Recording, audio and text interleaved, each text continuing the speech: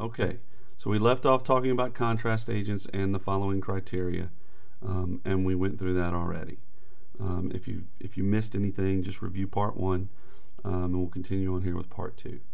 So, contrast harmonics. These are basically what the the the the, the terminology says. Uh, an, uh, as an ultrasound pulse reacts with microbubbles or that outside agent, a small amount of energy is converted from the fundamental frequency to the harmonic frequency. So if we said that that that harmonics comes from or harmonic images are made from twice the fundamental frequency, this is kind of where we start to explain what happens, how it happens. Well, we're going to talk first about contrast. These contrast agents are creating that extra frequency and it doubles on the way back. So we send our, our 2 megahertz, for example, sound wave out. We hit the, car, the micro bubbles or the contrast agent. They react. Boom, we get 4 on the way back. So it's very simple. This is this is no different from sending a sound pulse out. It hits the it travels through the soft tissue and reflects back. Now we're just adding an extra little uh, little step in there that when we use contrast harmonics or we inject or have these people ingest these microbubbles, sound sound pulse travels out, it reacts with these bubbles and the bubbles create extra energy and it goes from fundamental to the harmonic and it for example if we had 2 comes back at 4 very simple don't overthink it. Don't don't overdo it. Just accept it. Uh, contrast harmonics are created during reflection. And we'll talk about figure 17.4 in the book.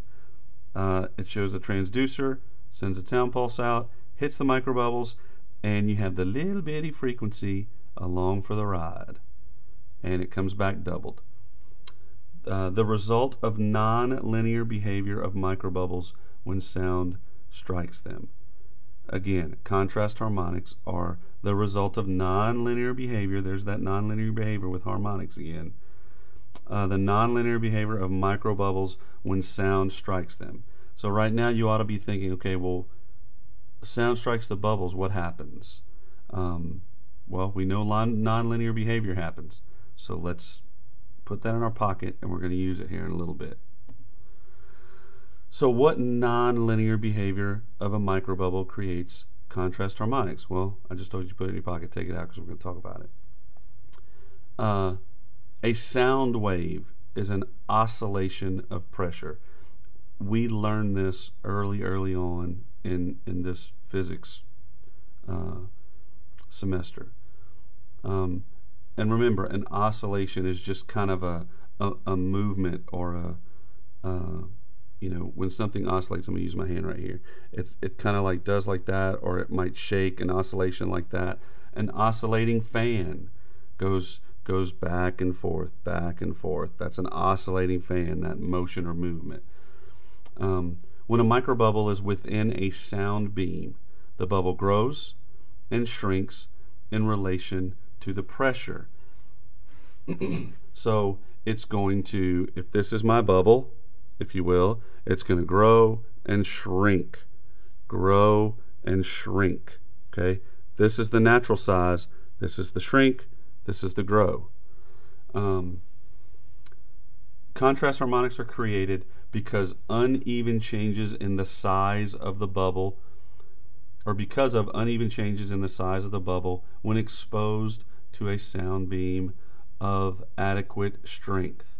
This uneven behavior is called resonance. Um,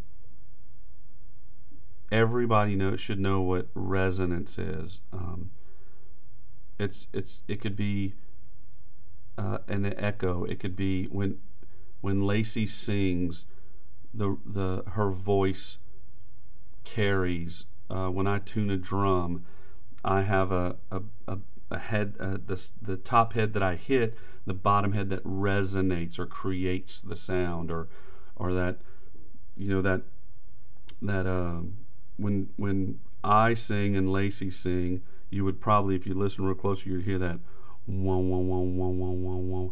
It's that uneven tune, if you will, um, because I am such a fantastic singer, and Lacey's pretty good, but we just don't get in tune together, if you will. Just kidding.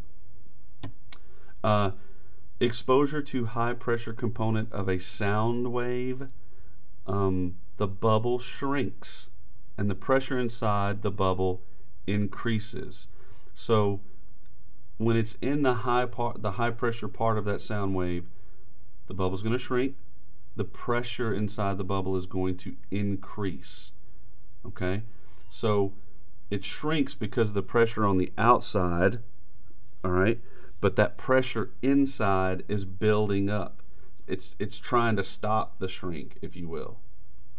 The bubble resists further compression, thereby limiting how small the bubble will become. So eventually it stops it and says, Whoa, you can't go any further. So that pressure is pushing out, the pressure on the outside is pushing down to compress it, and the pressure on the inside is trying to stop the compression. So that's what limits how small the bubble will, come, will become. Uh, when it's exposed to lo the low pressure component of a sound wave, the bubble is allowed to expand. Okay, it's a that that pressure on the inside goes. All right, whew, I can kind of, I got a little room here, um, and the pressure on the outside is is not pushing, not high enough to push down on it. The bubble, if that makes sense. The bubble expands. Bubbles expand to a greater extent than they shrink. So the pressure on the outside on the inside is allowed to uh, push the bubble out and expand it and let it grow. There's less resistance, if you will. All this is talking about is not to confuse you. It's just to tell you, you know, uh, that how the bubbles react to high and low pressures of the the sound beam uh, when they travel through it, and it should make sense. It's it's not it's not anything, you know, very scientific. It's just think about it, you know. It's no different from from me, you know, going up into the mountains. Well, no, that's not a good example. Scratch that. I'm not even going to say that because I'm just going to confuse you because you're going to think, no, the atmosphere is less, and no, forget it. High pressure, the bubble shrinks. Low pressures, the bubble expands. Simple as that. Done. Moving on. Uh, as the bubble changes shape unevenly, shrinks, grows, shrinks, grows, a small amount of energy is transferred from the fundamental frequency to the harmonic frequency. Contrast harmonics are created during reflection of the sound energy. Uh, we talked about, uh, okay, for example, if we rub our hands together, just do we create energy or do we change energy? We create that heat, right? Or we transfer one energy into heat. If I if I shrink a bubble can or grow, shrink, grow, shrink, grow, shrink, grow, shrink like that, I am heating up. It's no different from tissue. Uh, those bubbles are are giving off that extra energy from the fundamental frequency and transferring it to the harmonic frequency. The one thing that we talked about that makes supposedly makes ultrasound harmful, even though we know it's not, I, we talked about and we'll talk further. I know I've mentioned as sound travels through the body, it's oscillating or vibrating those tissues, and those